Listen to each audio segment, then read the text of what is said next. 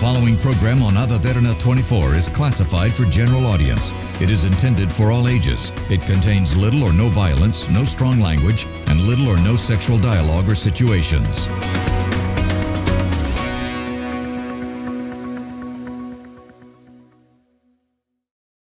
We would like to remind our viewers that the views expressed in this program by our participating guests are solely viewpoints of them who take part and does not reflect the views and beliefs of the Derana Media Network.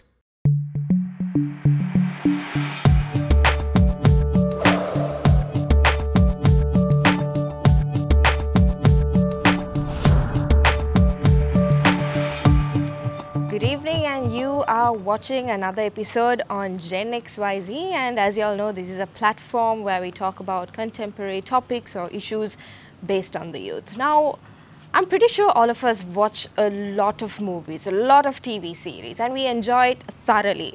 But have you ever thought about the people behind the scenes, like making the film and the efforts that they put into in order to produce this film? And I'm pretty sure, like, there are youngsters out there who wants to become film producers, film directors per se. So now we're going to talk about this topic and in this program we have an expert, the Sri Lankan filmmaker, Mr. Boodee Keerthisena, who is also the founder of Buddhi School of Arts. Thank you, sir, for joining me on the show today. How have you been? Howdy, partner. I heard that you're holding this masterclass as well, and we are currently yeah. the process of ongoing. So, why did you want to hold this masterclass? Well, you see, uh, I was one of the lucky ones that I could go to New York City and study at School of Visual Arts, and where some of my colleagues, uh, I mean, uh, who already are been already are working in the big industry, Hollywood or wherever it is, and also I got to meet a lot of um, a lot of other people, artistic people. Like I, I worked for composers like Philip Glass. I worked with writers like late Allen Ginsberg, and um, then I met a lot of other actors like Steve Buscemi, who's uh, like from Broad, Boardwalk Empire. You know, people like that. Uh, uh, it was a great city to meet people. I got to see the art culture, and this culture uh, it is already embedded with the, the whole big part of the culture in, uh, in US. And New York City is a very interesting art and culture based city. Um, so School of Visual Arts where I attended, it was a big time art school. Like uh, you would you would get to know like when you, when you meet Pepe and everything. So I thought I'd like to share something like that because some of my some of my uh, teachers are friends with same times and they were like great friends with Milan Kundera or if you talk about Milos Forman uh, and all these people so that I was able to get associating people so I thought if I create art culture like uh, Buddhi School of Arts uh, can provide like uh, uh, for young people to learn photography, uh, editing, cinematography, creative writing, illustration, and all, all these kind of uh, you know different arts. So this would be a great place for them to start creating things. Okay, so now you've been in this industry for quite a long time and you have been producing the most renowned films per se where people watch and people are, I'm pretty sure there are so many fans who are watching this as well. So, uh, what do you think makes Sri Lankan cinema unique to our people? What are the things that you keep in mind before producing a production here in Sri Lanka? Okay, I'm mainly a director, but I'm also a producer. Most of my films were pro- produced by my father, except for the war movie I did for the last war of Sri Lanka called Maatha. And um, um, I am, they call me the outsider in Sri Lankan industry because I'm not a regular Sri, Sri Lankan industry guy. I do, um, my each and every film is totally different to the other. So I like to keep it that way, otherwise I get bored. You know, I mean, if I make the same movie, I'm like, so, um, so um, my my point, way of uh, finding the interest is changing the subject. So um, I think because of that, a lot of uh, Sri Lankan uh, people who are actually looking at movies, they see me as a different kind of a filmmaker than the others, and which is also true because I changed my subjects. All right. So now, so you mentioned that you ha- did your studies in New York also, and you were there, and you have your experience here in Sri Lanka. What is the difference between cultures in the film industry, internationally and locally? Okay, film is about life, and human beings' needs everywhere is almost the same. You get hungry, I get hungry. My friend in US get hungry, and they get sad, you get sad, I get sad. You know the same thing. But culturally, certain things like, for example, when I first went to New York in 1987, I was walking through um, field, and there was uh, a black kid coming forward, and he was like, "Yo, what's up?" I, nothing, man. I looked up and said nothing. Then he was like, "How are you doing, man?" So I didn't know that what's up thing those days, right? So it's a cultural difference. And when I went to America, there was a lot of black people, but when I was getting out of America, there was only African Americans. So you see, the culture changes. And it becomes very politically oriented, and we are still because, uh, uh, you know, we, we come from different background. So like that, there are, culturally, there are different points, but when it comes to human storytelling, it's the same. Okay. Um, now, since you've been in the industry for a really long time, how can you describe the evolution from the past to now? Yeah, the, Charles output, Darwin went and got the monkey. and I am just kidding. The output of production and the production uh, process in a whole. In Sri Lanka. Yes. Okay, um, first of all, um, Sri Lanka had a film industry years before, but now it doesn't probably have a proper industry because um, if you'll be surprised, the you know the population of Sri Lanka, right? But you know the population of uh, film goers who went to a movie in the 70s was around almost like uh, uh, almost like uh, I would there, there, there, there's things say about 50 million or something. So how that has happened? The same head had been repeating so many times. But nowadays it doesn't happen and our uh, filmmaking quality has gone down. I mean, a lot of your generation don't watch Sri Lankan movies, right? I mean, that's no doubt because myself and Lakshman Joseph de Saram, you know Lakshman Joseph, he's the only composer who managed to compose a Hollywood movie because uh, Uberto was doing Bel Ami with uh, Robert Pattinson and all those people.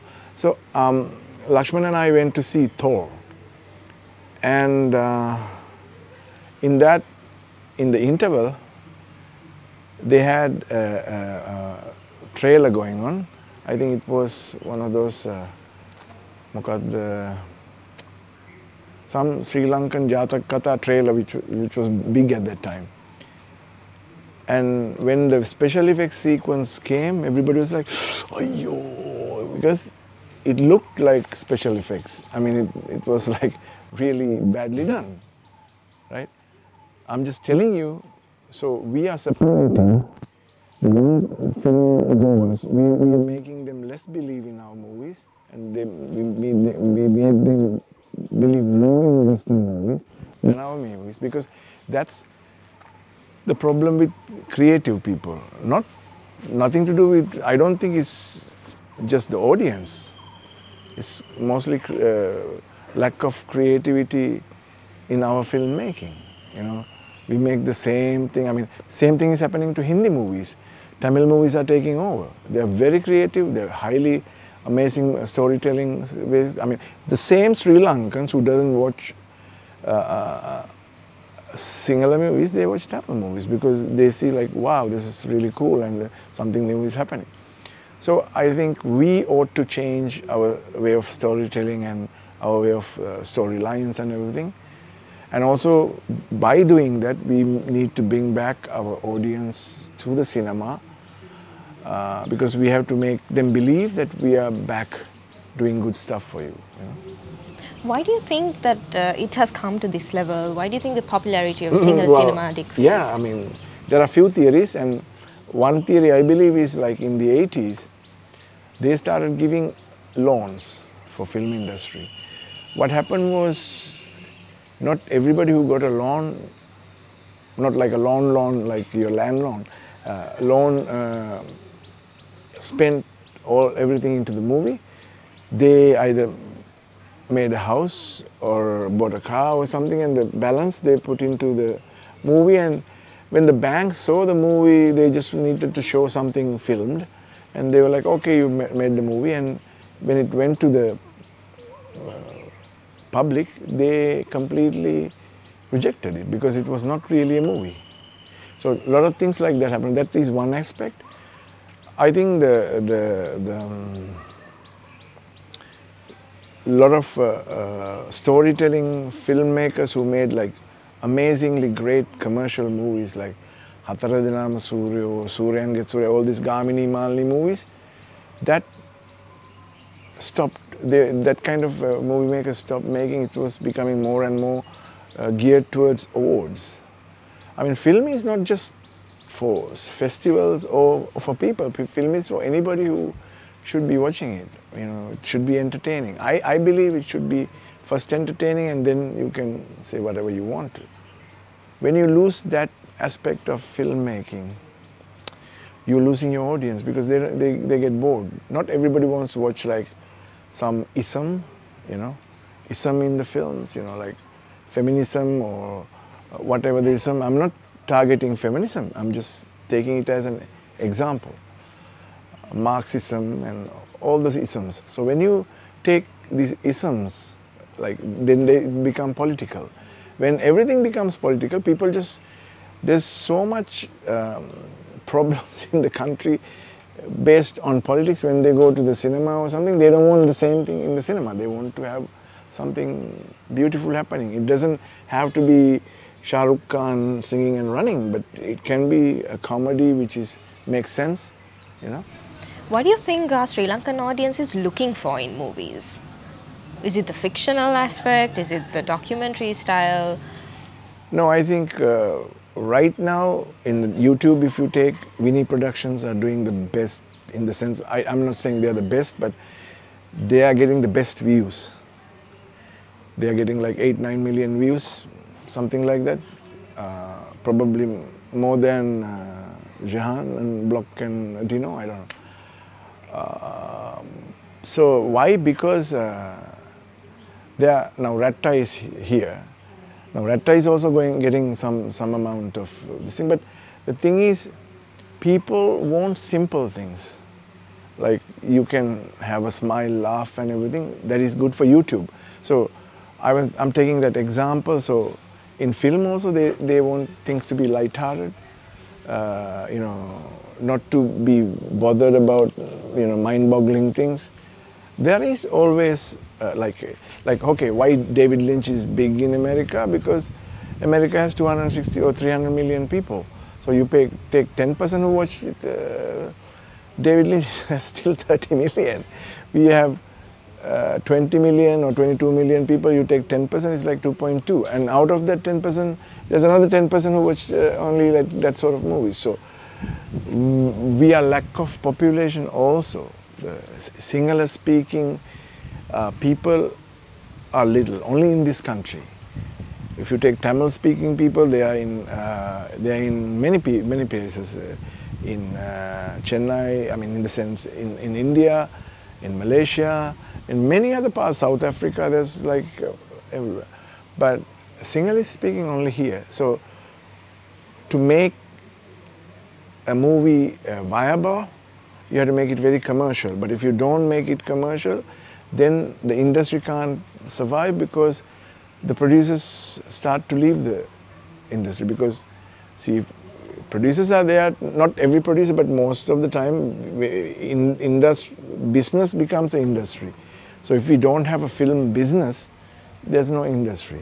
So that's why maybe chandran and them who are bringing people into country uh, uh, make a great uh, uh, uh value because uh, when Spielberg and um, uh, Lucas came to make Indiana Jones, The Temple of Doom, it was amazing because this became a studio and Spielberg himself had said that every 10 miles is like a different you know kind of look of the country. It can be a studio. So so that's another aspect to we can do is promote Sri Lanka to as a film location and bring more people down here. And then obviously local industry will also develop because when I did Maatha I had uh, one person who worked in uh, Close Encounters of the Third Kind with Spielberg and then I had some other people who worked uh, uh, in uh, I think it was Oliver Stone or something so they come and work with our people our people slowly elevate their knowledge, and which is great. So it's like, uh, you know, then our industry will also go up. As a film director, uh, what talents do you see in Sri Lanka in terms of acting? Now, you spoke about Malini Fonseka also, and people remember her still.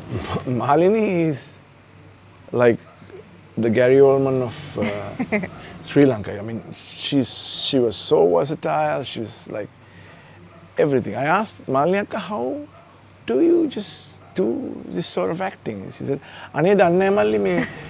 මේ ඔය අපි කයියක් ගාවුන Lenin මොරායස් හරි කවුරු කියන මාල්ලි it's your take now and ටක් ගාලා එක් කරලා ඇවිල්ලා ආයෙ වාඩි වෙනවා. So she had it in herself. Samanli is a good example because she's also got a lot of talent. So now I find Mahendra is amazing.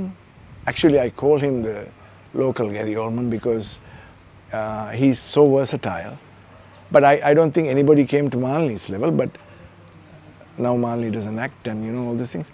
But Mahendra is extremely talented and uh, the, the whole gang I worked in Mille Soya, they're pretty good. And right now I'm doing, about to do a TV series before I go to my movie and uh, there's this kid called Pradeep Ramavikrama who they call from Eyadam Bendala series Mania. And he's also very good. He's uh, Mahendra's second in command in the uh, act, actor studio school. So it's, it's good, uh, a lot of good talent here. Do you, uh, can you say the same thing about the young people who are coming up to this acting industry as well? That the young people, I've seen like so many young people getting into the acting career and uh, young faces are showing up on TV. What can you say about them? See, there's a difference uh, between the, the these so-called, I hate to call it teledramas because I would rather call TV series, but they're not serious about series, you know. so um, the teledramas is a different crowd. You know, they uh, should look beautiful, uh, nice, handsome. So it's the looks mostly and their acting is also some of them are good but so when they pick up talent they try to pick up the good looking ones right so they, they probably miss the good talent when they do that so i don't always keep teledramas i hate to say that word teleseries people are responsible for shaping up this country's acting performances i think it's a lot more than that there's people who are coming from Sinhala and English theatre and also other people who come in different ways. Okay. Um, I think now in the second segment and third segment we'll be joined with uh, uh, Pepe Danquart as yeah. well, the award-winning uh, film director. Oscar-winning filmmaker. Yes, that's great thing. That's that's an interesting story as well. How you became friends with him and how you got to uh, got him to come to Sri Lanka to do this uh, master class as well. So before that, we'll be going into a short commercial break. You're watching Gen XYZ, and we will be back soon. Gen XYZ. Z.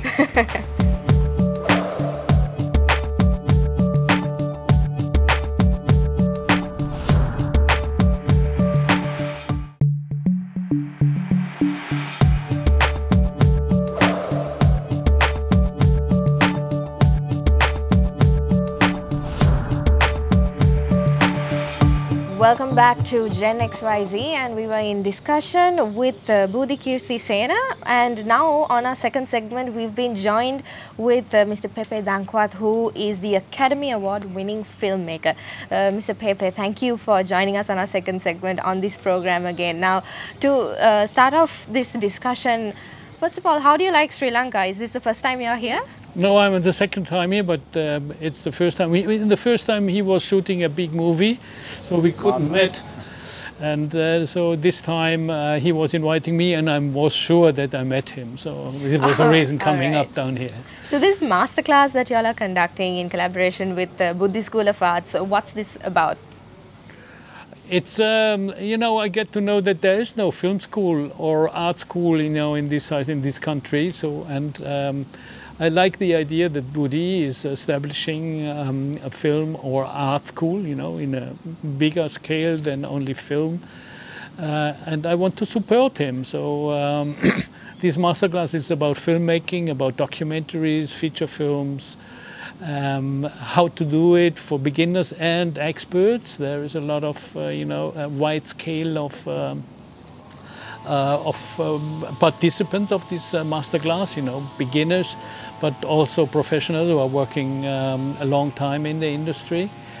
Um, yeah, and uh, I'm happy to be here. Um, it's a wonderful place, this uh, barn studio here, and um, I thank to Boodee that he, he has organized and uh, financed all these kind of uh, event happens here. Uh, So, Mr. Boodee, how did you get to know Mr. Danquart and uh, how did this relationship come into play? That's the interesting question. Well, you see, um, Pepe was, you were making uh, Pulandi, yeah? Yeah, well, I did a film in India, Phoolan Devi, and, uh, uh, and he did his uh, diploma film Yeah. from uh, First film, uh, Wales of Maya, Sina Deshe. 91 or 92, 2. 90, yeah, something like that. 92, 93. All right, so while directing a film, did you all get to know each other? No, Yes. he was directing and I was finishing off, and he was waiting to get his films, uh, what do you call, developed, developed and printed to take it to Germany. I was getting my sound to be finished so I could come to Sri Lanka. All right. But we both had the same scenario, right? Exactly, we've been in big shit. Okay, now since both of y'all are in the same industry and both of y'all are renowned uh, filmmakers also, um, what can you tell about the talent available here in Sri Lanka and what do you think are the characteristics that a filmmaker needs to have before getting into the industry? Um, I don't know the, the scale of uh, this is uh, a question uh, has to answer, but uh, uh, I saw um, or realized that there is a lot of talent in the um, uh, in the masterclass, and um, I think this is uh, the principal thing you have to have if you want to go into um, the industry. You have to have talent. And you have to have the passion making films because filmmaking is not only fame it's a hard work thing. And uh, only a few percentage of those who started uh, the filmmaking are succeeding in it. So uh, it's not a job guarantee study if you study this. Uh, you have to struggle. So you have to have the fire in you. Really want to tell, tell stories with film. If you have that and you have the talent, you can start a career in the film industry. All right, so what makes a filmmaker very special and to bring them to a level to become an Academy Award winning filmmaker? First, he has to believe in itself. Second, he has to believe um, in the skills. And second, he has to know how to do it. Mainly, above all these uh, three skills, he has to love people. And if you don't have the love for people, you you are on the wrong place doing um, a film because it's all like Boodee said it before. It's all about emotion. You know, people went to cinema to have and feel emotions. And if if you do it this with actors or without actors, documentaries, or if you do it short or long, it doesn't matter. It's uh, all about emotion and your love that you uh, to people and help them. That's uh, you know, film can help. Film can put the finger uh, on uh, the wounds uh, of society, which is wrong, which wrong, which is going wrong. You can look at poverty, you can see on hard work people, not only the glamour. You know, if you have all these in you, maybe you succeed on the big success. And a bit of luck, yeah. Luck is also important. Has uh, luck been in favor for both of you all in this industry? But for me, yeah, yeah. You know, I'm. Uh, I did a short uh, um, a movie about uh, racism in Berlin, and I won an Academy Award, which you know changed the game rules. Yeah. You know, from that point on, uh, you are an established filmmaker, and you got the money, and you got the opportunities, you got scripts, you got uh, offers to do a movie. So that was luck. All right. So if a young person needs to get into this industry and they want to become a renowned filmmaker, uh, what are the things that they need to keep in mind and what is the foundation for them like to be ready for in this industry and what are the characteristics or uh, future components that they must be ready for? First, you have to get to know a little bit of life if you're coming out of school, you know, you, you just know the, your teacher and your family. So what can you tell? You can about a story about the teacher and about the family. But that's not, you know, for me, uh, one of the principles is you have to have some experience in life. You have to, to tell stories to other people who are interested, uh, to get them interested uh, in the subject you're doing. And um, I think you have to overcome obstacles. You don't give up. You have to have the fire in you to overcome obstacles which are always occurring if, while you do a, a, a film. A film is like an avalanche, you know. When an avalanche starts, you can't stop it. When you start a film, you can't stop it. Otherwise, you're dead. That's right. So, what are the main challenges or difficulties that a young filmmaker should be prepared for? That it's not only fame, that's not only the red carpet, it's not only uh, because uh, it's hard work. It's uh, really hard work making a film, but you nobody thinks about how difficult it is to make a film ready for the big screen. You know, when it appears to the big screen, it's already a success. It I think uh, what Pepe told you about uh, life, you know, understanding life and experiencing life, because film is all about life is full of life, it, whether it's whatnot, whether it's human beings or whatever it is, even if you take a cartoon, it's about life. Even if you take a jug and a tea kettle and some other thing in a cartoon, it's still again about life. So since film is about life, having an experience in life is very important because to show uh, certain emotions with people, you need to at least you have experience. Then if you if you if you come at, come through and experience a little bit, then it's easier for you to work with others and get that experience across to the audience.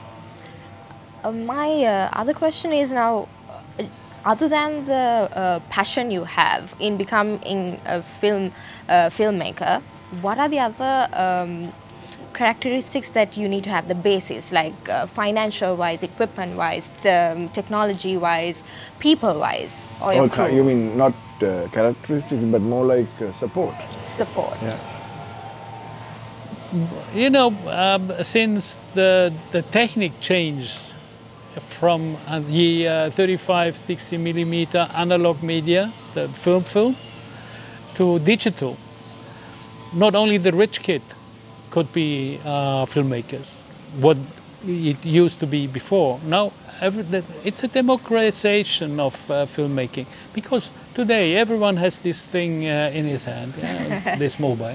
These mobiles nowadays are 4K. They, they can do things which we are dreamt about uh, 20 years ago.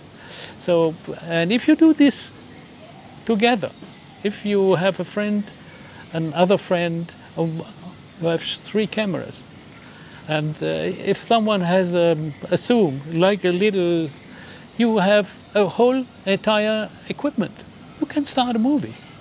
If you have a good idea, if you have a good content, and if you have the talent to tell a story. So what I want to say is, if you not only want to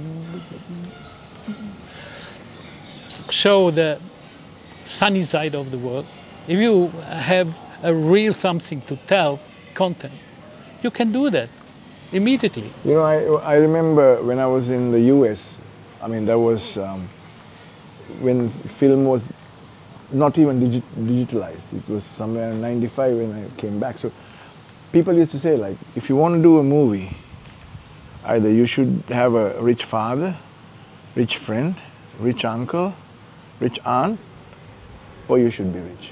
Because that was the only way you could make it. And now he's saying there are other ways you can make it because of digitalization. But what do you think about the opportunities available for filmmakers? What Not kind of just uh, in Sri Lanka, but uh, worldwide.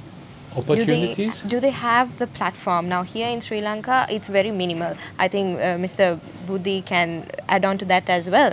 Like the opportunities available for them to showcase their talent. Yes, but it's not only about showcase. You know, we're talking about filmmaking, real filmmaking, art house movies. Uh, you know, documentaries, which is a piece of art, the art which of the 21st century. It's not painters anymore, and artists have to have a critical position against society, against reality. They have to show that uh, the mainstream is the mainstream. You know, of course, nowadays are the platforms of the social media. You can go to YouTube, you can go to uh, Instagram, you can uh, uh, recreate followers, followers, and if you have one million followers, hey, there is something right because otherwise you don't have a one million followers. But um, um, how many uh, YouTube videos goes into the air every second? Do you know that? That's amazing, millions Millions. and only one or two or three get through uh, to a widespread audience. So um, those are clever, smart. Maybe they have to tell something which is uh, interesting for a mass of people, and that was before as well. So uh, at that time they have to pay to go to cinema. And I know I saw um, cinemas in uh, uh, in uh, in India where the queue was uh, four times around the block. And um, uh, nowadays, the, the streaming uh, um, uh, companies, you know, Netflix, like Disney, HBO, they, they become and uh, couch potatoes, sitting Yeah. home and uh, looking all that, that, that stuff. That This- cinema is- experience is not there anymore. the cinema experience going down a bit, uh, which I felt very sorry about it. What is your inspiration from both of you? If may I uh, pose the question in filmmaking, what inspires you and motivates you to become uh, this filmmaker?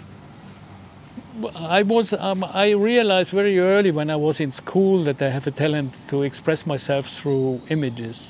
You know, painting, photography, Super 8 movies at that time. And um, uh, when um, uh, I finished high school, I was thinking what to do in my life, and I decided to become a filmmaker. What my parents didn't like, because it's uh, always the same. Everyone tells you that that uh, parents want you to have a real job, like architect or a doctor, doctor, lawyer. or lawyer, or whatever. But I thought that was just a problem here. it's all over the world. it's all over the world like this. So, but then uh, I became uh, one of those who made it. So uh, now my parents they passed. Unfortunately, since they were alive, they were be proud that what because. Um, but uh, I was always interested at the edge of things. For me, the you know the edge of things, what could be told, told, you know, society, uh, people who are at the borders of uh, public interest, all these kind of stuff. It was interesting me, and I had the talent to tell these kind of stuff with images, and this is film. Was it difficult for you to break that barrier and follow your passion? No, that uh, I was lucky in my life. So at uh, certain points, I, I did the right thing, and uh, uh, I had the, the right people around me. I'm not from a rich family because I was going into that adventure um, uh, without the background of. Uh, but this is a different uh, country where I'm coming from. You have the ability to go to film school without paying. Um, uh, you get uh, money from Loans, the state, student loans. student loans, and all these kind of stuff. So it was only my skills if, if I am happy. And afterwards, uh, I became a professor and uh, I give at the art school. And uh, as a professor, I try to give the skills back to those kids who are coming up. So that's, you know, it's all about um, experience. I read yesterday at the studio in Colombo. Life is all about experience, and if you made a, Yes. yeah, this little uh, photo booths, you know, you guys like uh, five minutes pa- passport shop photos. In one of those booths, he read this. you know, and I said, yeah, that's right. And uh, my experience to give back to a younger generation who was following me was, uh, at a certain point, very important for myself. All right, thank you for that insight, but we have to continue this discussion. But before that, we are going into a short commercial break. We'll be back soon. You're watching Gen XYZ.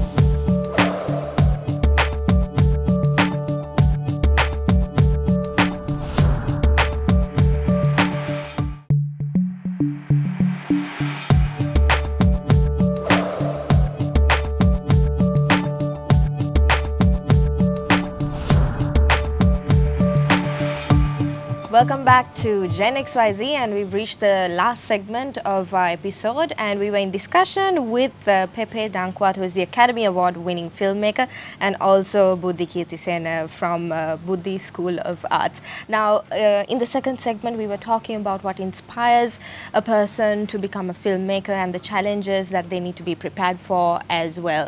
Now, uh, coming into more technical details, when you think about producing a film, uh, what is the minimum time uh, required to put out the final product? It depends. It, it, everyone is different, but uh, I need about two years Two years. from the beginning uh, of idea to finish a movie. That's That- uh, mm, one full movie. So, uh, do y'all set uh, timelines to achieve certain targets? no, no. Not really. No, it always depends on the subject and the content. uh, You know, one movie I did uh, uh, was a road movie, uh, which I was nine weeks with my crew uh, uh, on the street, and then uh, you finish that. And uh, the last movie I did for three years, uh, following an artist. Was a you know a long-term documentary which needed four years. So and I did both you know overlapping. So it was again two years, two years. But Pepe, I'm sure when you did like your the the bo- what was that a boy run boy run or Yes. yeah that's like a like like a feature film so you, in that you probably had more pinpoint uh, timing or Oh yes, um, if, if you do it in this, yes, you had like what I say, 40, 50 days. no I mean from uh, pre-production to going into the cinemas or, or, or distribution whatever it is Uh, the, the, the, yeah, that's pre-production to, uh, to the point of we, two years also, again two years oh, okay so or at least a year post-production, and then uh, going into cinema. So, while producing this film, what are some of the main challenges or difficulties that you have to face? It's again, if you, uh, it's time. Sometimes it's really off the time. You know, if, if you do a feature film, um, you know, you are depending on light. If uh, you need a lot of shots for uh, one uh, Einstellung, you know, how do you call it, one shot, and you do it 20 times. uh, well if you have a mise en scène then Mise en scène. then you are kind of uh, yeah you have to do the whole thing again and uh, if the light is again so time is an enemy of you and uh, the preparation you know building up the set. Uh, that's all these kind of stuff you have to manage uh, which you can't uh, do in advance. What do you enjoy about being a filmmaker, and uh, what is the uh, side that you want to pick up? Now, um, I you told me before the program that you are producing all sorts of films, feature programs, short films, documentaries. What do you enjoy doing the most?